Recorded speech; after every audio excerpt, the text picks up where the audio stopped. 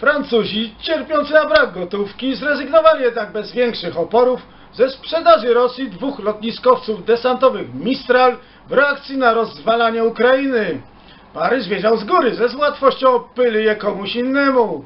W czwartek prezydent Hollande asystował w otwarciu drugiej nitki kanału sueskiego, po czym okazało się nagle, że najbardziej napaleni na Mistrale są Saudowie i Egipcjanie. Jedni drodzy tydzień wcześniej podpisali deklarację kairską o zacieśnieniu współpracy ekonomiczno-wojskowej.